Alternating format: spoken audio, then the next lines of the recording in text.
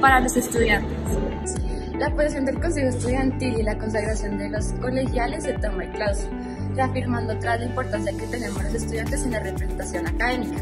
Volvimos a la U. Después de dos años abrimos nuestras puertas a futuros rosalistas. Más de 2.000 estudiantes nos acompañaron en nuestro evento Generación Rosario, donde pudieron vivir, sentir y explorar la universidad en todo su esplendor. En marzo conmemoramos, no celebramos.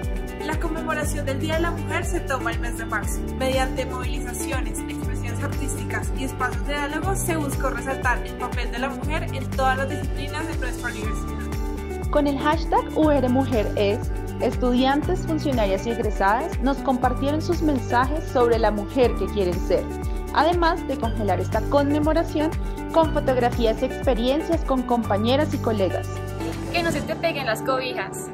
Conoce MovieUR, la app Rosarios en la cual podrás desplazarte sosteniblemente, hacer amigos y parchar en el tractor. UR a la fama. La universidad lanza su primera serie web digital Reconectando, una historia que muestra los conocimientos y prácticas de campesinos y pescadores.